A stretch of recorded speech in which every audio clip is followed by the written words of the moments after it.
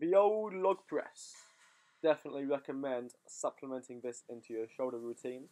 And the neutral grip will help take stress away from joints.